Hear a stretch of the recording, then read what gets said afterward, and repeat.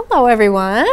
Hello. I'm so excited to be here live. I have had it with the virtual stuff already. I just love being live, and this is actually the first live presentation I have done since all of this happened, however long ago. So this is, it's so great Seems to be like back. forever. It does. Doesn't it feel like it's been 10 years? I mean, it's only been, I mean, it really hasn't been that long, but yeah, it just, it's great to, to be, there's nothing like live and in person. And I don't know about you, but I never realized how much I need people around, you know, until you don't have it. And then you're like, I miss people. You know, it, it- being at home is great, but people, just, it's so important, that human connection. So I, you know, when Megan invited me to come and speak, you know, there were several things I could have talked about, and I said, oh, I would love to talk about the seven pillars of healthy eating, which goes along with our Club FX program through Heinen's. So as as Megan mentioned, I am the dietitian for Heinen's grocery store, and I work hand in hand with Dr. Todd Pesek, who is Heinen's chief medical officer um, for Heinen's grocery store, which I don't know if you know, but like there's no grocery store in the country that we know of that employs a chief medical officer. So it's it says a lot for the Heinen's brothers to have invested in that resource. They invested in him 10 years ago and me about maybe eight years ago. Uh, that they are so vested in wellness and you know not not just from a sell wellness products type uh, end, but more in the education, which is what Club FX is, is more of the educational piece for well-being and, and health and well-being for you know for our customers. We've always had wellness departments, but we really wanted to educate customers and, and provide that information, you know, from both Dr. Todd and myself, so that you know we could you know clear the air and separate you know fa- fact from fiction. And, and there's a lot of information out there, and so how do we drill it down to what we feel is the most important? There's a lot to know, um, and you don't have to know it all. So we, we really try to make it simple, you know, with our with our Club FX and, and the seven pillars. And I'll go through them today.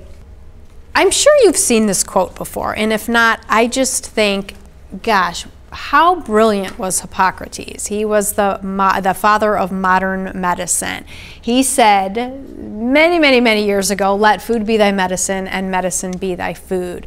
And that's actually a quote that we have on our wall at our personalized nutrition center because we really believe that you know the grocery store is the pharmacy of the future.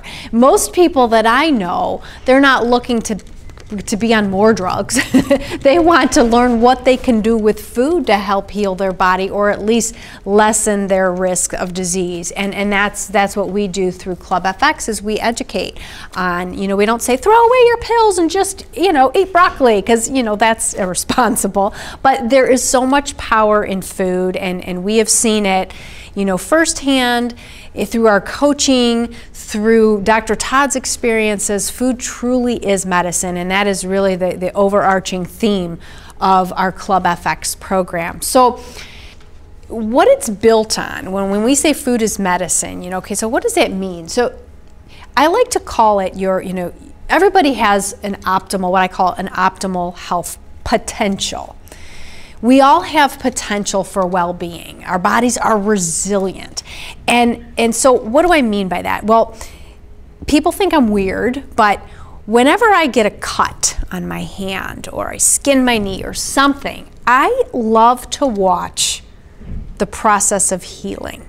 You know, so like I got a little, I burned myself on my stove, you know, um, making, it wasn't tofu, but it was a stir fry or something. I had one of those really big cast iron skillets that got really hot and like touched the side of it. And I, but my point is, you know, it didn't take long until, you know, I started watching the, the process of healing, you know, it, it got blistery and then it, you know, it healed and, and then a scab formed and all of these things. And, and I just look at that whole process and I say, gosh, my body knows what to do. I mean, I have to just keep the bandage on it and keep it clean, but it knows what to do. And that's that's how I look at the human body. It really is resilient. It really wants to be well.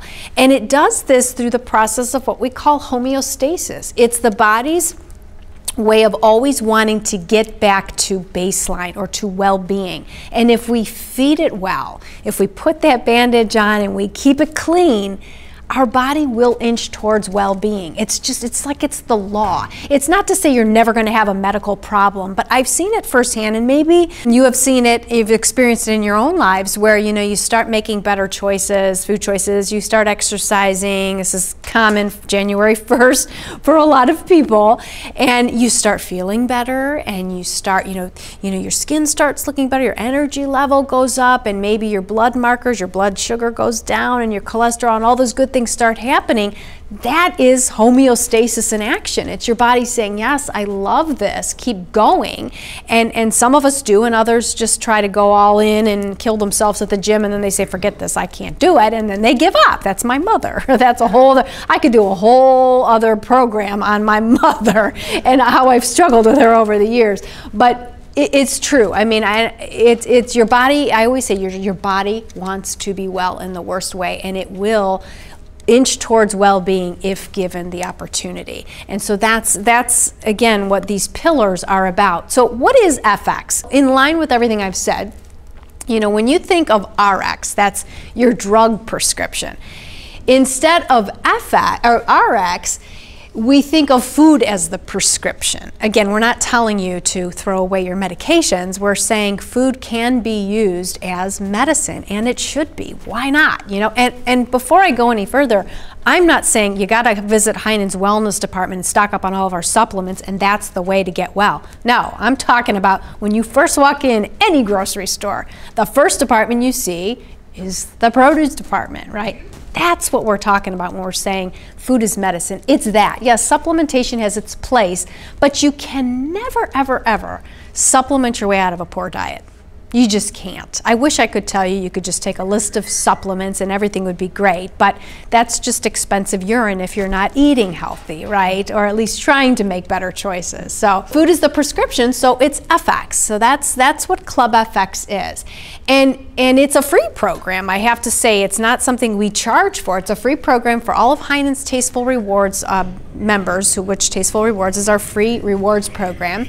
And what the perks are for Club FX you get weekly nutrition tips and recipes through email um, from both myself and Dr. Todd, and exclusive product discounts, which are Club FX approved. So these may be certain produce items, and you'll always see like the little cards next to the items that are Club FX uh, specials, and even rewards. So we're doing either monthly or every other, I think they're going to try to do this monthly, where we do specific dollar amounts off of certain products just, you know, for the Club FX members. Um, and again, it's free to join. And what most people don't know is that each and every one of our stores, with the exception, I should say, of our Chagrin store, Chagrin Falls store, has a um, wellness consultant staffed in our wellness department, and their job is to help you make better choices, answer questions, and they're there to uh, meet with you one on one for free. And you can make an appointment with them. So that's all part of what you can access through Club FX. And again, this is all an online thing, but we also label things in the store that are Club FX approved as well. And then there are some paid services, and that's where you may work one on one with uh, one of our dietitians, which I say one of our dietitians, there's only two of us. So it's either myself or Abby. Uh, we don't have this big staff of dietitians, but those that want to go a little bit deeper and they want to have more of a coaching relationship with goal setting, we do offer that as a service as well. But that's, that's through the um, Personalized Nutrition Center. So it's, you know, it's, um, but it's, it's there if you're interested. So, we have what we developed as these simple guidelines to healthy eating, and we call them the seven nutrition pillars. Um, this is the foundation of everything that we speak about in Club FX. We really try to make this simple, and they're all in the pamphlet, so you don't have to write anything down, but I just wanted to kind of go through the, the more of the why we chose these pillars, and, and they're not really going to be news to you, I'm sure. Some of them may be, but you know, for me, I have to know the why. Like, what's in it for me? Don't tell me to eat chia seeds. I want to know why I should eat chia seeds, because who's just going to sign up to eat chia seeds, right? If you know the benefit, it, it's a lot, you have more of an incentive to, to try those things and try recipes that include them. And that's one of the things with our, all of our Club FX recipes, they incorporate these ingredients and they show you what to do with them. Because yes, chia seeds might be great, but what do I do with them? I've known people that, you know, I tell them, eat more beans and lentils, and they, they have the same bag of lentils sitting in their cupboard for like two years because they're like, well, I don't know what to do with it. Like, this is great, but what do I do with it? I don't want to make soup. What do I do with it? So that's what we do with our recipes. Like, for example, we have some coming up in um, uh, March that specifically focus on key cardiovascular components and we take we make recipes that um, incorporate these ingredients so we have one for a chocolate uh, put chocolate chia seed pudding which is made with avocado and cacao and um, a little bit of maple syrup and, and it tastes like a chocolate pudding, except it's dairy free and it's actually good for you. So there's a lot of things, you know, it has to taste good, right? You, these cannot be recipes that I always use my mother as an example. If my mom won't eat it, I know most people probably won't. She's picky. And I test a lot of this on her. And if she turns her nose up, I'm like, okay, maybe it needs to be doctored up a little bit. But they have to be, they have to be palatable and, and taste good. And that's one of the things that our recipes are. Um, it's pretty tasty. So the seven pillars answer the question really how should we be eating? It's not necessarily the what, but it's the how. And so these pillars are the first one, not surprising, but we think this is the most important. Eat your greens, as many as you can, every day. The second one is eat the rainbow. We learned this in kindergarten. Eat fruits and vegetables, um, at least one fruit and two veggies every day. We always say more vegetables than fruit because of the glycemic load of, of vegetables versus fruit, especially people who you know struggle with blood sugar management. We, we tell them, you know, fruit's great, but it also can contain sugars that can impact your blood sugar negatively. So you have to be, you know, mindful of that. Berries are awesome. I'll talk a little bit about them, but you know, they're almost anti-glycemic, which means that they support your blood sugar in a good way.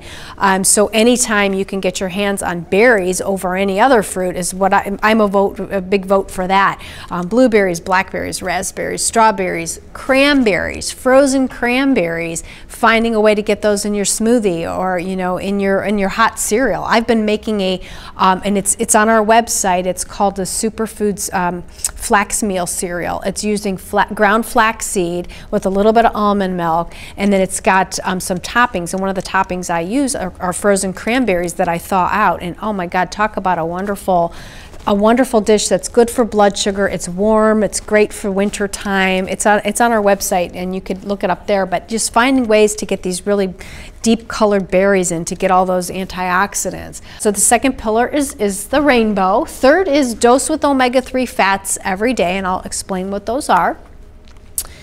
Pick your protein. Choose plants over fish, over fowl, over beef. We are not saying you have to be a vegetarian or a vegan for that matter. I, I am not a vegetarian or a vegan. I was a vegetarian for many years and then um, I was an unhealthy vegetarian and I wasn't a happy vegetarian. I was always hungry because I wasn't doing it right. I mean, I was doing it incredibly wrong, you know. But once I started adding a little bit of protein in my diet in the right way, I started feeling better, you know. So for me, that works. And we're not saying you have to be a vegan. Dr. Todd is a vegan and, you know, he promotes a, a pure plant-based diet, but we realize that, you know, that's not for everybody, nor nor should everybody do that if it doesn't work for your body. That's one thing I want to say is every body is different. So what works for me may not work for you, but what we can all agree on is we all need to eat more plants. I mean that, that most most people will not argue with that. That we plants are, are key for a healthy diet. Um, whether you choose to eat animal products or not, we show you how to do it healthfully. Um, fifth pillar is choose whole grains, preferably sprouted. We'll talk about what that means. Then remember functional foods, fresh herbs and fermented foods. Functional foods are those foods that offer benefit above and beyond just basic nutrition. So these are where your antioxidant rich, really interesting foods come into play. And many of these you probably already do and you don't even realize that you're doing such a good thing. And then the seventh one sort of puts it all together and it says just watch your sugar and salt. We're not telling you eliminate salt and sugar because I'll tell you, I'm not one to say get rid of salt completely because it's been demonized. It really has been. Salt in processed foods, yeah, not good, but regular, we need salt in our body. We don't need thousands and thousands and thousands of milligrams like we get in processed food, but it's an essential mineral that we need for our body for electrolyte balance. So we shouldn't eliminate it but it should be something that if we were eating a wholesome diet without processed foods, um, salt has a place. A little bit is okay, but what when we say minimize, you know, salt, watch your salt, it's just watch those processed foods. You know, that's that's not news. And then of course added sugar. There's sugar in fruit. There's sugar in vegetables. There's sugar in natural foods we're saying the added stuff, you know, adding white sugar to things, and, and that's what we're talking. Or products that have sugar in them, which are rampant. I mean, you know, all you have to do is look at a nutrition label and you're like, I had no idea bread has sugar in it. And I didn't know that salad dressing has sugar in it. And I mean, it's in everything. And so I, it's crazy. It's kind of unnerving. I get upset. When I'm like, why are they putting this in salad dressing? They don't need sugar in salad dressing, but to make it palatable, right? Your peanut butter, your Jif peanut butter, which really isn't peanut butter. I'm sorry. I know it's so delicious, but it's not peanut butter. It's peanut spread. Peanut butter is what? What? Yes Almond butter is almonds. A little bit of salt's okay in there if it happens to be in there, but you know, Jif and the Peter Pan and all that stuff, you know, the stuff that you could just eat spoon after spoon after spoon. The reason you could do that is because of the sugar in there. So these food manufacturers, these industries, they know what they're doing when they put sugar in the food. They know it's addicting, right? And so you want more and more of it, and so that's why they put it in there. Um, so don't fall victim to that because it's easy to do. The FX100, which you have in that pamphlet, we have it all in, it, it, what this is, is it answers the question what to eat. Now, there are many more foods that are considered FX approved than those 100, but we could only, I think there's 111 in there or something. We could only fit so many, and we didn't want to give you a list of 500 foods. That's overwhelming. So when you look at the produce in there, it doesn't mean that bananas aren't good and apples aren't good and pears aren't good. We had, you know, our produce department, everything's good, right? Produce in any any grocery store you go, it's all good. But we just wanted to kind of give you the best of the best. I eat an apple a day, okay, and, and that's you know, it's not to keep the doctor away, but I mean it does though. Did you know that apples are like one of the highest sources of quercetin, which if you pay attention to things that with immune health, quercetin is that um, that that pigment that's found in the skins of apples that is incredible incredible for our immune system. And they actually say that it, it helps with longevity. So an apple a day really does keep the doctor away. Just don't peel that apple because that's where the quercetin is this is that list of 100 foods to support the pillars. And not only does it include the fruits and the vegetables and the greens, but it also gives you those functional foods, gives you lists of um, superior meats and seafood and plant-based proteins and grains. You're not going to see processed plant-based foods in there. Morningstar burgers, that garbage. I'm sorry, it is just garbage. Um, when you look at that stuff and you see an ingredient list that long and there's so much stuff in there that you don't know what it is, at that point, I'm just going to eat a piece of meat because I don't know what that is. And I used to eat that stuff thinking I was being good, you know, I'm like, but it's really not. There are veggie burgers out there that, that are worthy.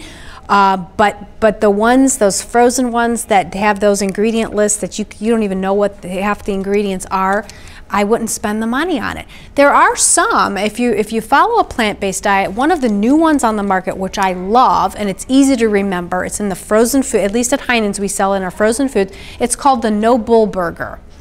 And it's made by a mom in, I don't know where she lives, she's in the United States someplace, but she created this burger for her family because she said she was tired of the processed stuff out there. And so you look at the ingredients and you see things like lentils and like real food and it's all put together in a burger. That's the kind of burger I want to eat if it's going to be a veggie burger, not a, you know, a pressed together thing that looks like meat and I don't know what it is. So when we say plant-based, you know, we, we highlight things like that, but also natural plant-based foods like you know tofu is fine.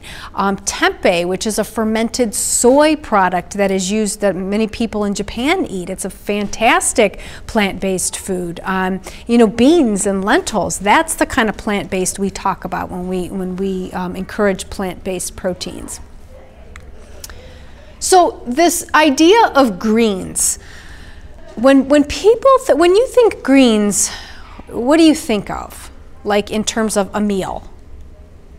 Salad. Salad, right? And we usually think of salads as like health food and boring and but you know and salads are great i mean i think they're amazing you can do so much with it but we like to encourage people to, to branch out, to use the greens that you see all the time and you might not know what to do with them, like Swiss chard.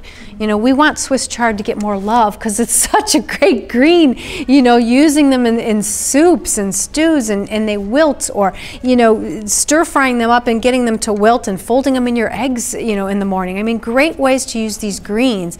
Um, traditional greens like romaine are fine and spinach are fine, but, you know, branch out and, and you know, dandelion greens and all kinds of things. So why greens are so important and why we recommend eating as many as you can every day don't make yourself sick over it, but eat a lot of greens is because they are the most nutritious foods, pound for pound, calorie for calorie. They have the most nutrient dense nutrient density uh, per, per amount than any other food. So the amount of nutrition it offers for the calories it provides is what we call nutrient density. It is explosive in greens. So when you get greens, you know, you whatever you're eating, even if it's just a little bit of salad, you're getting so much nutrition in there and so many um, detoxifying properties to greens due to chlorophyll, which is the pigment in greens. So it, it really is worth getting at least a serving or two of greens every day for that reason alone. You don't have to get them just in salads. You can, you know, make smoothies. One of my favorite things to do, even in the winter, is to make smoothies and throw a handful of either fresh spinach or fresh kale or sometimes I'll throw arugula in my in my um, smoothie or even purple cabbage okay in my smoothie, a little bit. You don't want to go too much with that because then it starts tasting like a cabbage smoothie and that's not good. Or even greens powders. A lot of people say well I live by myself and I don't want to buy these greens. What do I do? We sell greens powders in our wellness department and a scoop of greens in a smoothie blend it up. It's literally greens in dehydrated form so you can do that as an alternative. But it's really easy. What we recommend is eat a salad as a side dish with your dinner. Um, every day or make that you know the make that your appetizer. It's just a great way to experiment with different kinds of greens. And then once a week what we do in our house is we make the salad the main meal. And you know people are like how do you get full off of that? If you've ever seen one of my salads you'd be like wow it is just, it's full of different kinds of greens. Then I'll put some sprouts on it. Then I put some toasted nuts on it. Then a scoop of beans. Then I put may put a nice piece of like um, grilled salmon on it. And I drizzle some olive oil. And I'll put some berries on it. So I get all the pillars in one meal. And it's amazing. It's satisfying. And you just feel so good after you eat that. And then what chlorophyll is is it's that pigment, but it's it's it has that those antioxidant, anti-inflammatory properties which help fight disease. Anytime we talk about anti-inflammatory or antioxidant, inflammation is and you probably hear this and i'm probably not the first person to ever have, have, said this i'm sure but inflammation is not the inflammation that happens you know when you burn yourself on the stove the inflammation we're talking about that is the disease causing kind is called chronic inflammation. And that is at the root. Chronic inflammation is at the root of almost every disease in, in the, the Western world. Diabetes, heart disease, cancer, the root is, is is this chronic inflammation and it's your body's immune system. What it is is your body's immune system gets turned on. It gets aggravated by something. And usually it's um, our lifestyle choices. You know, it's it's our diet, it's our you know lack of exercise, it's pollution, it's all kinds of things. But it's our a, a response from our immune system that doesn't turn off. So whereas we get the little cut and our immune system does its thing. That's called acute inflammation. It's our body saying, okay, got an injury, need to heal it. The chronic kind is immune system kicks up to an injury that we don't see, but the injury's in the inside due to our lifestyle choices. And so when we say eat greens, that's the why, because it lowers that chronic inflammation. It helps to kind of neutralize things out a little bit. So those are the greens. Again, there's so many of them, but but those are the ones that you know are, are the, the top scorers. Most people look at spinach and kale and all that, but check out things like, you know, um, the microgreens. Microgreens are those mini greens that you would sprinkle on top of like an omelet or on top of your salad. It's not meant to be a whole salad, but they're very nutrient rich and they're just, they're real light and they're beautiful. They, they, they're, they're what you might find in a, in a restaurant on the top of like a, as a garnish, but they're amazing. They're so nutrient dense. Yeah, so those are your greens. Now the second is, the second pillar is that eat the rainbow. Um, the why behind this is, you know, when we talk about fruit, first talk about fruit, you know, I said if you're going to eat fruit, I, am a fan of all kinds of fruit, but I particularly love berries because of their gentleness on blood sugar. And anymore, you know, we all have to watch our blood sugar. I think that is one of the diabetes, pre-diabetes, or blood sugar um, being on the cusp of that is one of those things that if we could control that, eh, our health would be remarkable. And, and I tell people all the time if you don't have diabetes, act like you have diabetes and you won't get diabetes. Because really, what a diabetic diet is to me is not here I'm going to give you a list of carbohydrates and you have to count them all day. No, it's eating right and balanced to keep our insulin levels balanced so that we're not spiking our blood sugar and our insulin all day, every day, and everything goes wonky. When we talk about fruits that are gentle on the blood sugar, berries are number one, which means it's fine to include them every day in a smoothie, on a salad blackberries, raspberries, cranberries, uh, blueberries, fantastic. Blueberries are um, high in resveratrol, which if, if you know anything about, it's also known as, as the, the antioxidant found in red wine, but you don't have to drink red wine to get it. You can get that in blueberries. It's important for blood flow. It's important for, of course, we know uh, brain health, um, but it's super important for heart health. Um, so get those berries in. Um, citrus fruits as well. When we, when we talk about fruits, citrus fruits are important. They're alkaline, which means they help balance the body's pH. Um, great source of vitamin C and minerals and fiber. So your citrus are going to be grapefruits, and of course oranges and grapefruits. But you know this citrus season, which has all of these different types of you know mandarins and these really incredible experiment with them i mean because they're so different. Um, we have the melissa's produce which is you know they offer all these types of exotic produce. Um, citrus is one of them you know so experiment with different types of citrus. Blood oranges are amazing. Um, in the fruit form versus the juice if you can um, I tell people all the time the first thing you do when you go to, like, let's say Bob Evans, they slap some orange juice right on that table. And it's like, if you want to spike your blood sugar first thing in the morning, drink that orange juice down. You'll start off with high blood sugar from the, from the get go. Eat the fruit in the whole form. Your body digests it slower. Um, I, I just don't like juice. I'm sorry. I mean, it tastes wonderful, but it just it just wreaks havoc on your blood sugar. It does. Um, it does. And smoothies that are made with juice and all this stuff, it's like, ah, no, juice should not be the basis of a smoothie. That's too high in sugar. It should be like a plant-based milk that's unsweetened. And then you add your own fruit to it, a little bit of berries and some greens. And we've got some recipes on our website. But, you know, a lot of these places where you'll go get smoothies, Sure, they taste amazing, but if you ever look at the sugar content on that, it's like, ah, oh, they taste delicious. So that's because there's like a pound of sugar from all that fruit and pulp that they're putting in there and juice. I know I'm probably not your favorite person right now. Uh, and then stone fruits. Stone fruits don't get the love that they deserve. Stone fruits are any fruit that has the pit inside. So plums and apricots and nectarines and peaches. Those are amazing because of the bioavailability, meaning the, absor the availability, the absorbability of the nutrients in stone fruits. Um, great for the immune system, also vitamin C. So those are the ones. And Dr. Todd is very heavily involved in making this list. He said stone fruits need to be on there. Because you know, I was like, oh, let's put apples and pears. They're more, you know, readily available. He's like, stone fruit. We've got to put stone fruits on there. So yeah, they made it on there. Also on there are lemons. And, you know, in, in addition to the other citrus fruits, lemons and limes.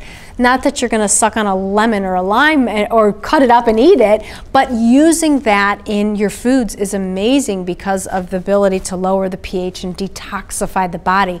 So one of the best things you could do, you get up, you stretch, you brush your teeth, you go in your kitchen, take a glass, put a tablespoon of fresh lemon juice in there, fill it up with water, drink it down, 16 ounces when you first wake up. And why that's so powerful is we've been sleeping for seven, eight, maybe nine hours. We got all this sludge that's just been sitting in our bodies all night long. You get up, you drink that lemon juice down, and you it starts to move things through. It starts to detoxify the body first thing in the morning. You're not gonna like it because at first you're like, oh, I gotta drink a glass of water when I first wake up. But we have been dehydrated overnight, right? We're sitting there and we're just dehydrated. We haven't drank anything for eight hours. We have to rehydrate, but more so get that that um, that lemon juice in there to detoxify the body. And if you have issues, bathroom issues, and things aren't moving like they usually they like they used to, you start drinking that lemon water, things are going to start moving. It doesn't have to be ice cold. It could be lukewarm. You could do it hot if you wanted. It'll just take longer to drink. But I do. I just do like a um, bottle when I first wake up. It's routine. At first I hated it. Now it's just it's just like brushing your teeth. You know, it's it's amazing. So those are the fruits that you know that are listed on your on your sheet on your pamphlet there. And, and these can be frozen too, guys. These don't have to be fresh. I love the frozen fruits if they don't have any added sugar. So the Heinen's line or any, you know, Dole, whatever.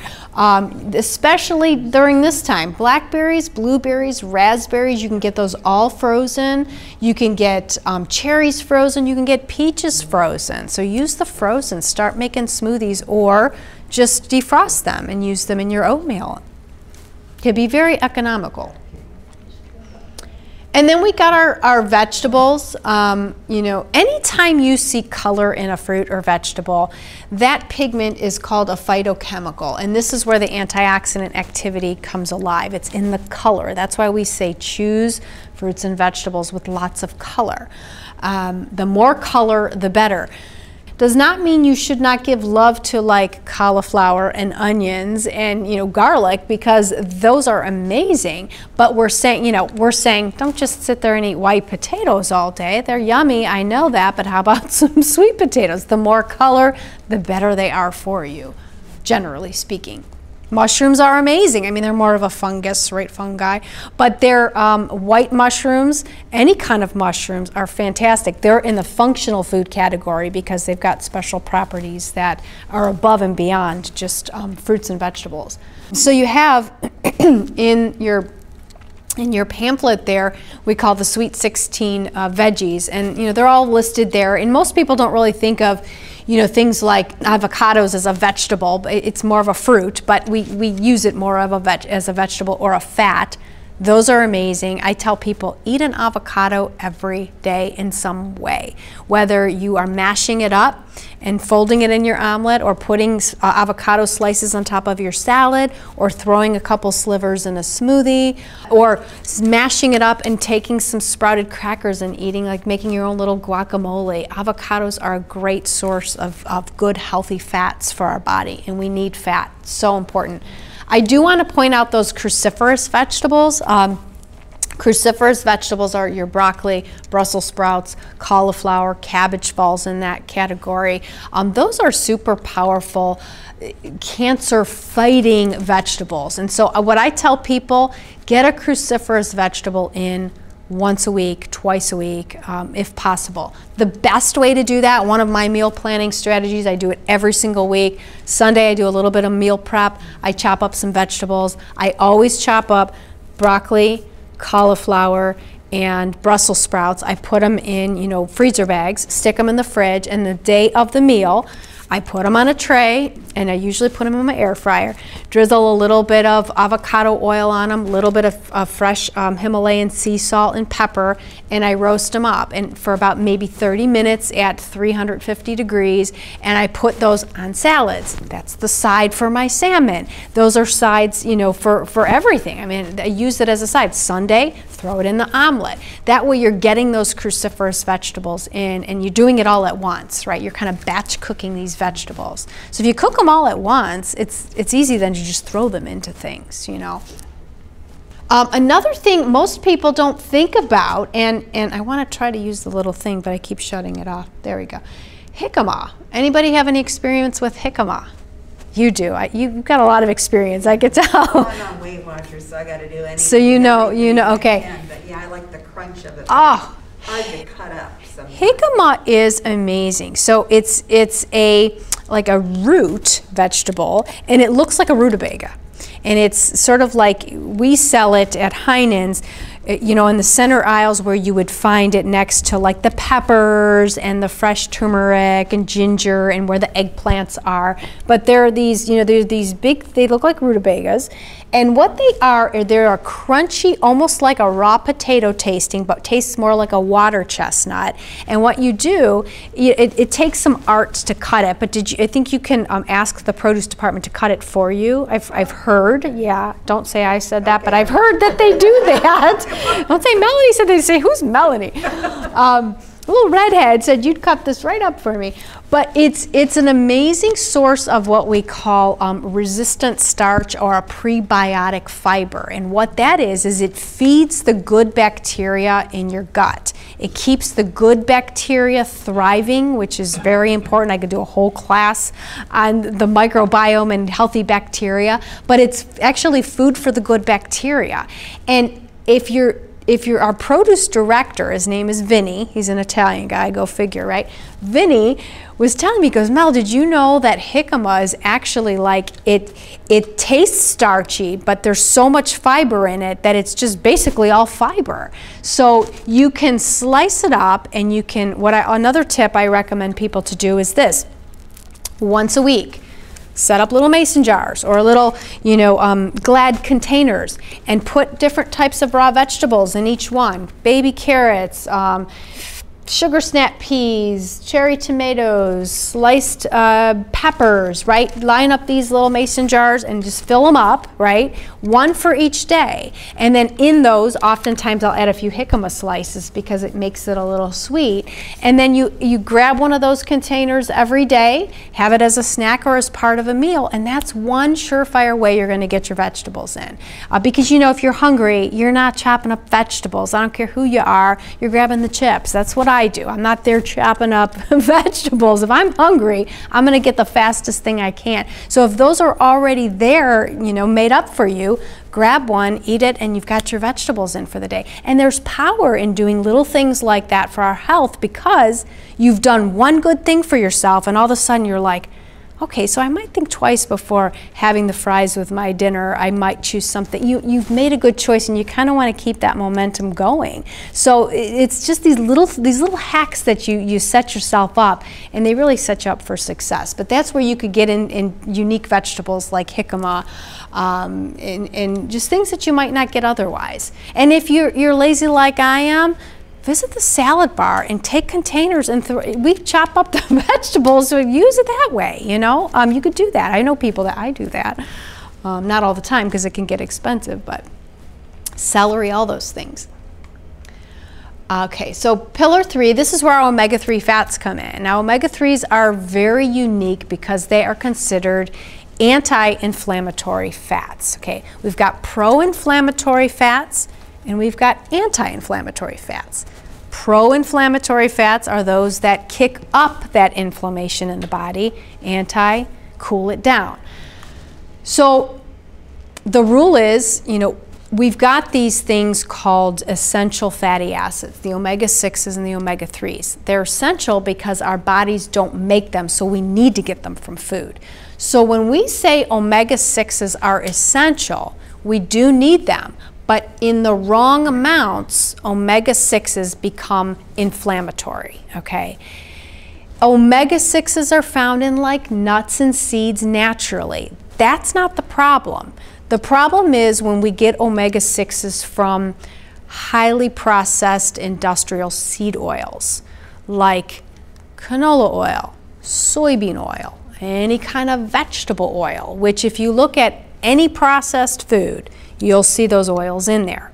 And so where this becomes a problem is the more of these convenience foods that we eat with all of these omega-6 oils, we start to rack up all of these inflammatory oils and we don't even realize we're doing it because we're like, oh, we're just eating crackers. Well, those crackers plus that frozen meal plus that type of bread, all these omega 6s start to rack up and then we're in an inflammatory state and we didn't even know we were we were doing this. So don't worry about the nuts and seeds. Those omega 6s are great. There's no problem. It's the it's that's where the processed foods come into play. So our ancestors used to eat one omega 3 to one omega 6 nice and balanced. Disease rates were so low. And then the boom of the processed food industry and the snack food industry come and they load everything with omega 6s. Now, I'm not saying that that caused the increase in disease, but all of a sudden you see over the years that line going this way to where diseases were down here and all of a sudden they're here. And what happened during that time is processed foods less cooking. Everybody go out and we get convenience. Everything's convenient. And and when you boil it down and you really take a, a step back big one of the biggest culprits are those omega-6s from those seed oils and all that processing um, so ancestors used to do one to one now they estimate most Americans are on a 20 to 1, 20 omega 6s to 1 omega 3. That's a problem. That's heart disease. That's, you know, that's cancer. That's a lot. And I'm not saying that, you know, Aunt Mary got cancer, you ate too many omega 6s. I, I'm not saying that. I'm just saying there is a link between inflammation and all of these diseases and omega 6s you know, contribute to that. They're like a fire that, that light that inflammation up. So omega-3s are, are key. So let's talk about the good stuff. You know, our brain cells, if you've ever heard of DHA and EPA, those are your omega-3s. And our brain cells are actually made up of DHA. So if you think about it, we don't get these omega-3s, our brains aren't getting the omega-3s. And that's, you know, we can see a lot of issues with depression, ADHD, um, which is that attention deficit hyperactivity disorder. There's a lack of these um, anti-inflammatory fats in our diet, and it's and it's affecting our brain health and our heart health. So what are these essential um, omega-3 fats? Now from nuts, seeds, and nut butters, there's a lot of them. You know, you get a lot of things, a lot of foods that have these omega-3s in them. I mentioned the chia seeds, flax seeds, hemp seeds, all those great nuts. Um, find a way, you know, find a way to eat nuts every day. Walnuts are great, almonds are great even if it's just a handful every day, if you're sprinkling them on your salad that you're eating, you know, every day as a side. Um, if you're throwing a spoonful of fresh ground walnut butter or almond butter in your smoothie, that's another way to get it. You know, it's the same thing.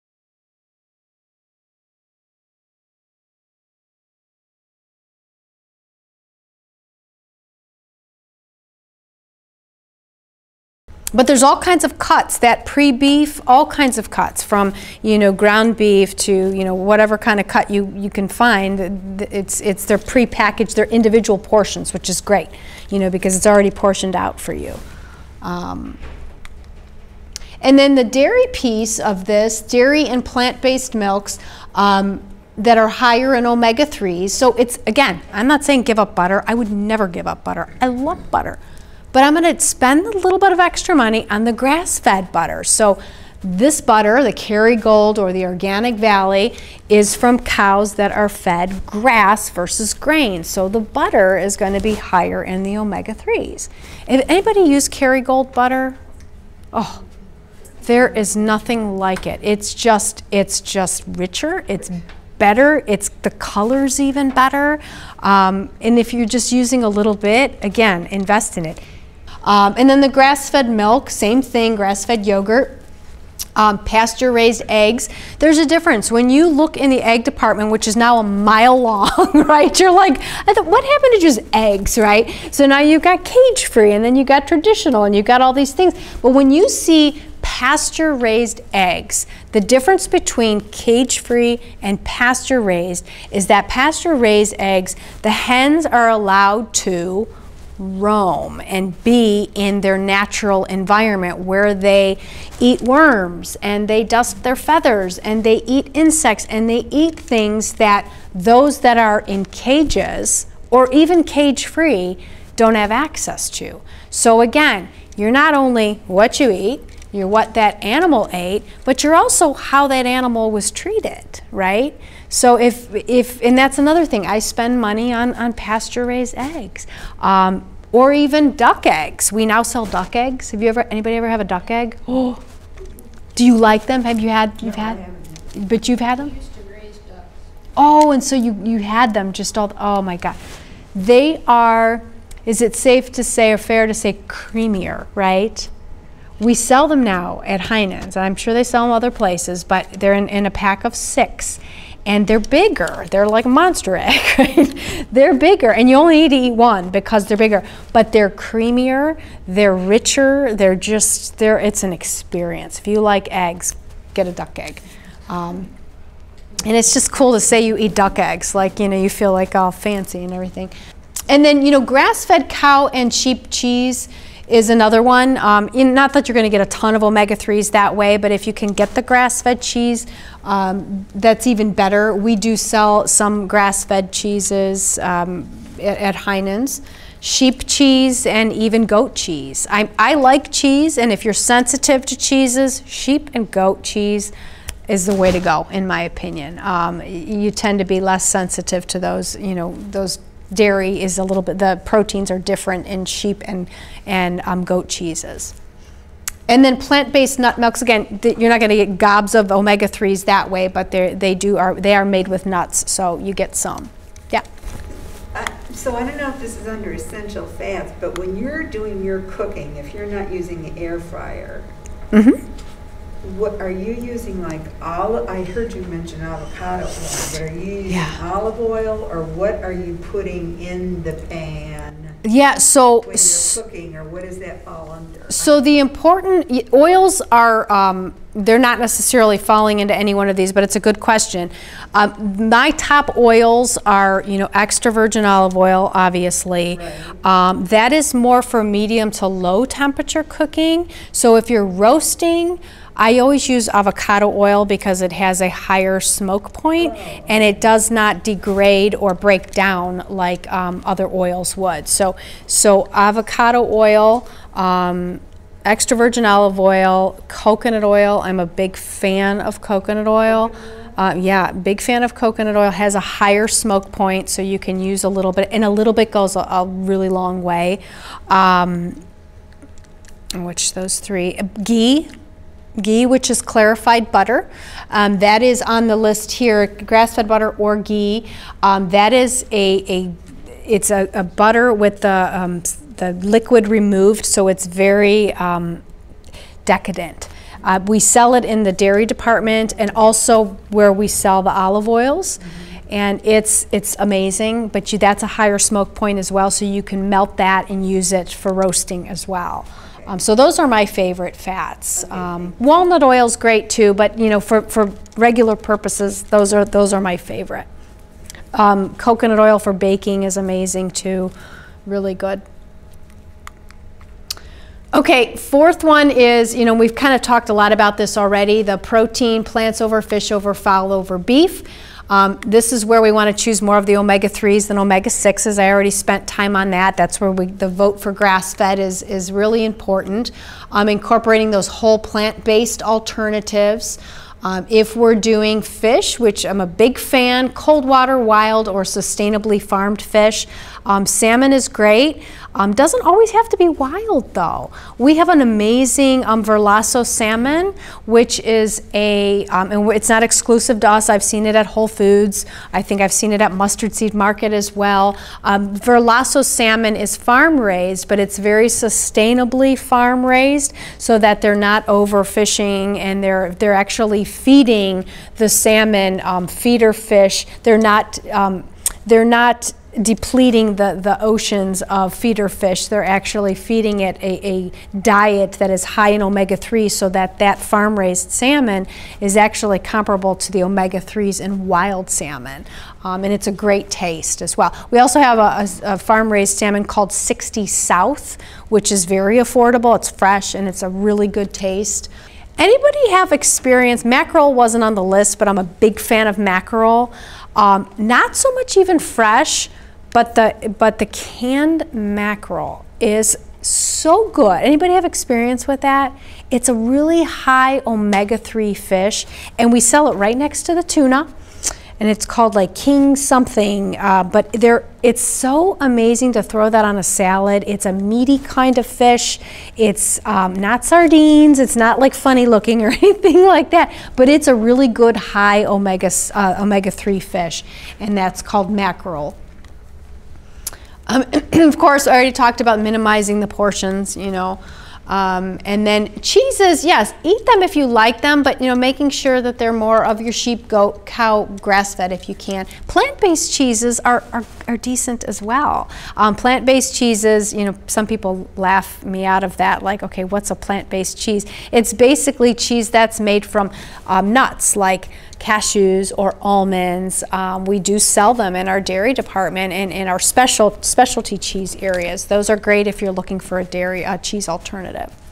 So then your proteins, they're in your, they're in your pamphlet, so I don't have to go through all of them, but um, your plant-based proteins are listed there. We do make a whole food plant-based burger fresh in our uh, meat department. I say, why do you merchandise these in the meat department? What vegetarians eat going through the meat department? But they say a lot of people are what they call flexitarians anymore. They want the options. They eat meat, but they want to eat more plant-based, so they stick them in the, in the meat department.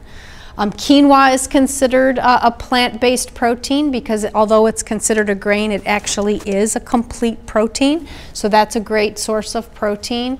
Tempeh, we talked about tofu and all that good stuff. There's your fish and your fowl, of course, and your beef. And then your fifth pillar, which is your um, whole grains, what we call preferably sprouted. What sprouting means, it's just a simple way of saying that you're soaking the grain, that the, the manufacturer is soaking the grain or the seed or the nut until a sprout forms, and then they, they use that to make the product. Now, why sprouting is so important is because it sort of unlocks the vitamins and minerals in those in those grains, they're better absorbed and they're gentler, easier to digest and break down, especially for diabetics. So between a sprouted bread and a non-sprouted, I would opt for the, the sprouted, like Ezekiel, um, Angelic Bakehouse, those are some of the brands of sprouted products. When you look at your pamphlet, your grains are going to be brown rice, quinoa, which TruRoots is a sprouted um, quinoa. We have a sprouted uh, quinoa from TruRoots. Steel cut oats are fine, wild rice, and then your sprouted breads, wraps, and crackers. Um, the Ezekiel line is found in the frozen department. Um, best bread out there. It's not soft and cushy. it's it's it's it's uh, heavy duty. It's it's a uh, you know it's not a Wonder Bread. It's you can't take a nap on a loaf of Ezekiel bread. Um, you'll probably like knock your eye out. It's it's got some muscle. And then even sprouted crackers, you know, with your cheese. There's a great cracker called Flackers. It's along alongside all the other crackers. It's a seed cracker made from flax seeds. Really great. It's really gentle on the blood sugar. And then there's another really good cracker called Mary's Gone Crackers. That's a, I know it's cute, easy to remember, but that's a sprouted cracker. It's it's delicious. Okay, then the last one is your functional foods, and these again are those foods that offer uh, nutrition uh, benefits above and beyond nutrition.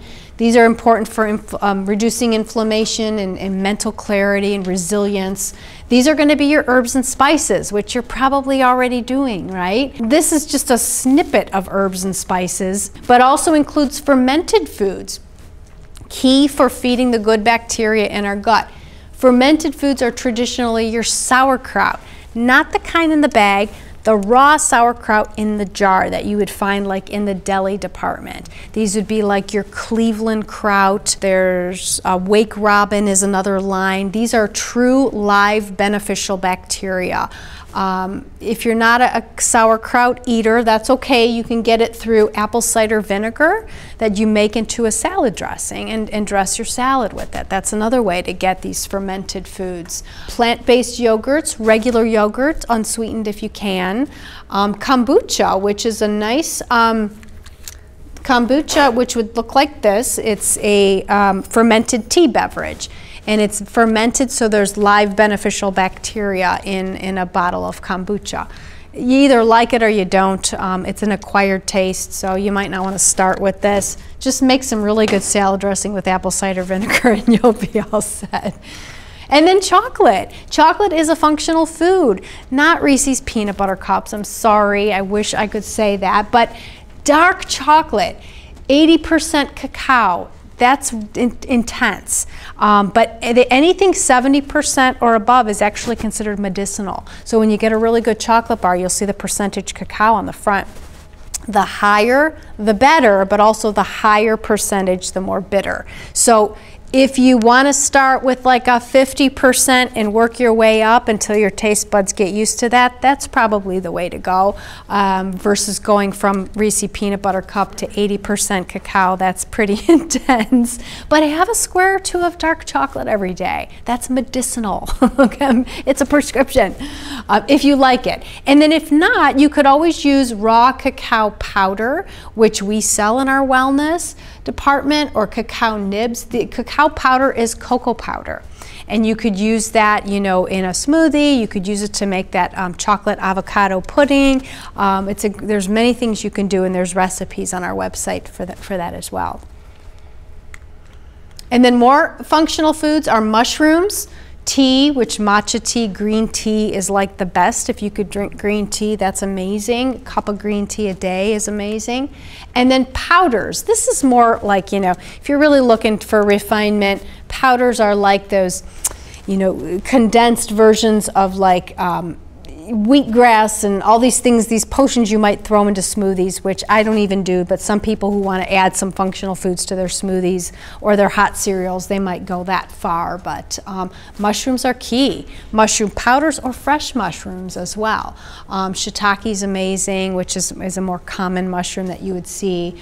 Um, but you know that that's a great um, immune boosting food. Mushrooms are, are fantastic.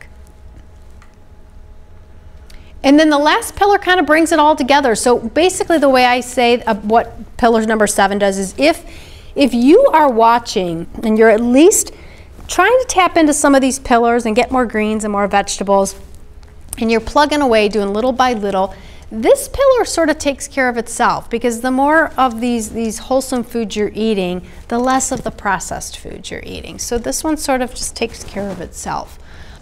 And, and I like to always wrap up by saying, you know, there's a few, there's five things I want, I want to leave you with. So I gave you all this information, but I want you to remember that, you know, sometimes we get so excited about things, we want to just change everything.